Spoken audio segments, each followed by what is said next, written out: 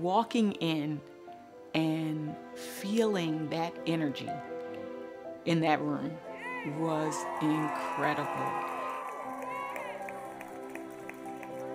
There were little kids, uh, older people, um, wheelchairs, uh, balloons. There was just so many different pieces of like our community and and just like a lot of positive energy and love. Kay Keenan was phenomenal, her comments.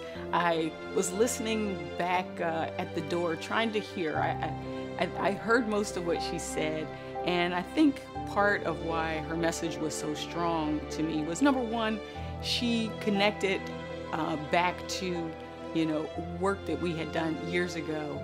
Today, Lisa and I are both founders in the Delaware Fund for Women, a group whose mission is to empower women and girls in Delaware so they can achieve their full potential. In my mind, that sums up what Lisa does well. She always is working toward helping all of us to achieve our full potential.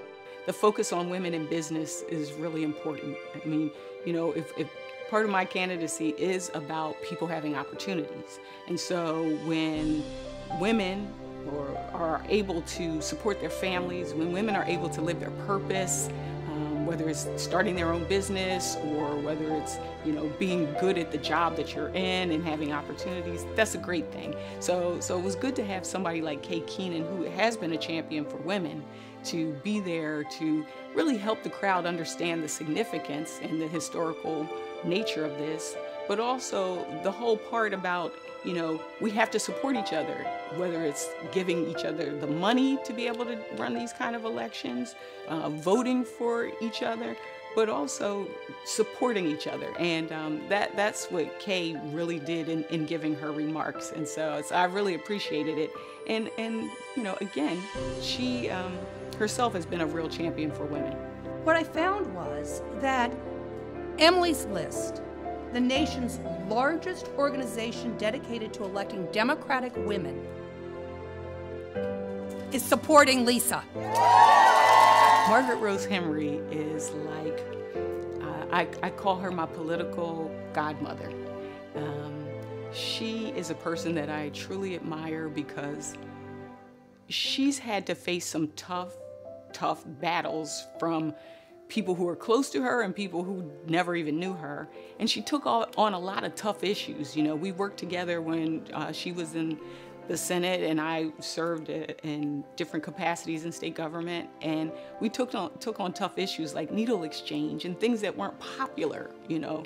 And she always cared. And even if it was hard, she just kept doing it. You know, there's a there's a saying in uh, the movie Finding Nemo, the little fish says, just keep swimming, just keep swimming. And, and to me, that's, that's what she does. She, she, she keeps doing the hard work and she, she's an inspiration to me. I'll leave you with this quote from Martin Luther King Jr. I have the audacity to believe that people everywhere can have three meals a day for their bodies education and culture for their minds, and dignity, quality, and freedom for their spirits. It's a powerful quote. And I'll tell you, as I was even preparing to give this speech, I prayed. I was like, God, give me a great speech. Give me a dream speech. Give me one of those speeches. But as I was trying to write it, I realized that making history is not about how well we say things or what we look like. It's about being clear in our intention and acting on it together. And I am clear. I want our children to have the best education. I want Delawareans to have good paying jobs and own prosperous businesses. I want our cops and communities to come together for a common purpose of building strong and safe communities.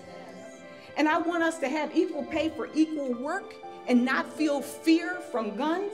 And I don't want to see someone homeless or living on the streets or without a place to go when they're sick because, as I said, some congressperson doesn't like President Obama.